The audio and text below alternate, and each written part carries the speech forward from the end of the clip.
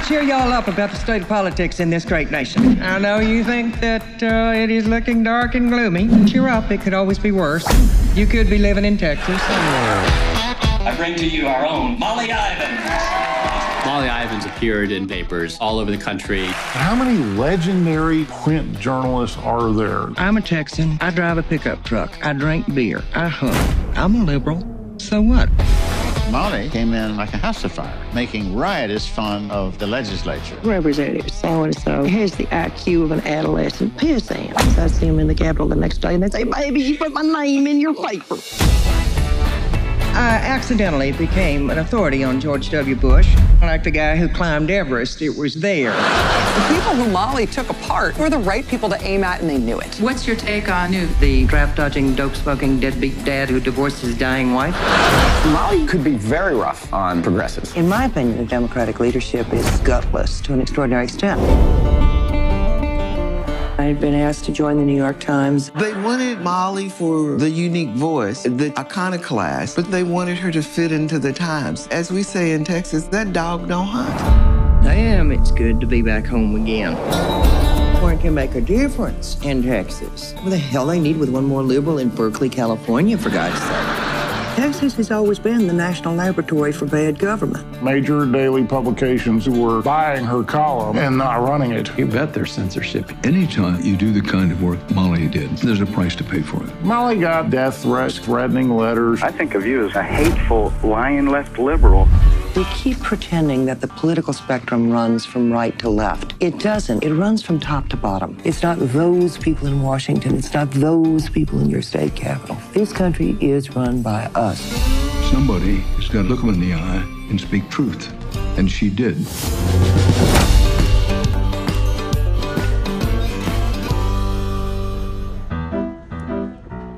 that was an amazing film.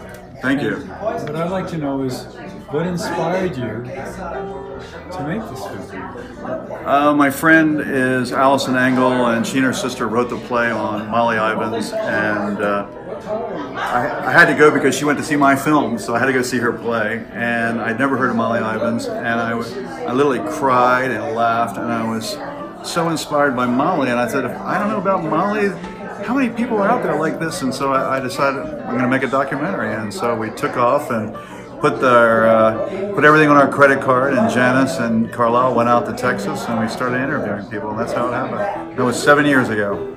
And it's mostly women. Mostly women, yeah. I have an amazing crew of women. Uh, Janice and Carlisle, of course, but we have an, uh, Monique Zavistovski, who's this brilliant editor, and then we had Monique and Janice write it, and then we have our archivist with Amber Howell and Gerald, and, and our camera woman, Christy Tully, and uh, so it's a, also I think Molly would be impressed that you know we have these extraordinary women making the story about an extraordinary woman. I think it's only appropriate and I guess I'm an honorary person in there. so, what do you feel the relevance of the film and Molly is to present day? Because so much of what she said was really prophetic. Right. I think Molly is is really important today. I think more I don't say more important than, than when she was alive, but because of the polarity of politics and and uh, the uh, the, in, the inability to tell the truth. Let's put it that way. When she was so powerful at telling the truth, but she said it in a funny way, and I think that's something we could really uh, benefit from right now because she just didn't, you know, make fun of the right or the left. She made fun of corrupt people. She made fun of people who were screwing the people and that's what you know that's what we need right now. Someone who can make fun of them in a way that makes us laugh but also see the truth and the horror of the situation that we're in right now. And i know molly is twitter ready. Like I, my favorite line about molly which could be very applied today is that if you put his brain into brain into a bumblebee he would fly backwards. And i can think of a lot of politicians nowadays that that would apply to. So uh, i think that's where she's relevant you know and I also, I think that when she said, you know, who are we going to blame for all this? And then she made that big statement in the film, illegal aliens, you know. You know, she talks about, you know, when we blame so many people or so many of things outside of ourselves for for what's going on in America and why things are going wrong, and then decide to make us less free, you know, we're basically less free. And I think that's what's going on right now. Our civil rights are being attacked.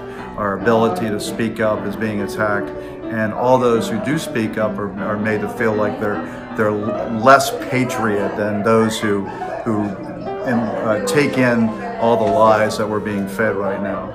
So I think Molly would would could have cut through all the lies and and help us all cut through those lies, but in a funny way, right? We gotta laugh about it. Absolutely. For all you people who would like a good laugh and really want to have a good time, and also Molly would say, Molly I would say, you know, the greatest form of free entertainment is politics, and I think we we could really use Molly's voice now to help us to see the entertainment about politics.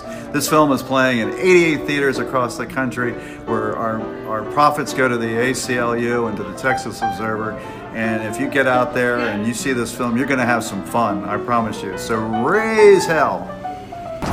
Damn, it's good to be back home again.